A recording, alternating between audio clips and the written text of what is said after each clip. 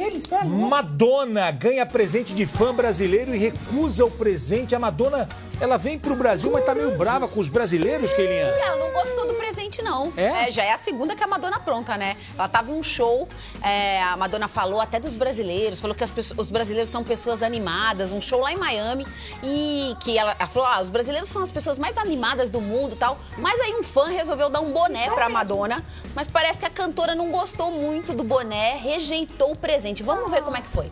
Que ela não quis tomar um chá? I know you are because you have a Brazilian flag.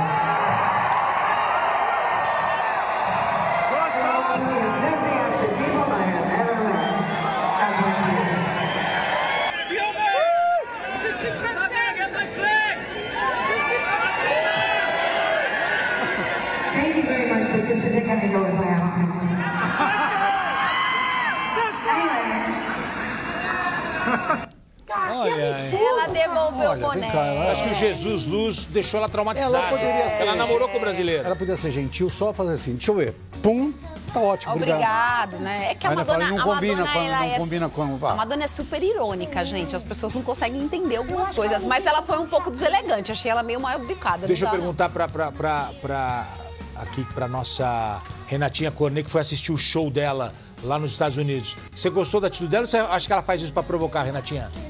É pra provocar. É, é, ah, é pra chamar atenção pros shows no Brasil. Ah, ela vai fazer um show no Brasil. Imagina. Mas Tanto é que nós estamos falando dela, Lombardi. Ah, mas. Bom, mas tá Eu vou levar a touca. Pô, Mas é chamar atenção de um jeito Não é? Fala a verdade, negativo, ah. né? Não, mas hoje, hoje, A gente hoje, fica de bode. A gente vive na época do falem bem ou falem mal, mas falem de mim. É assim, é assim.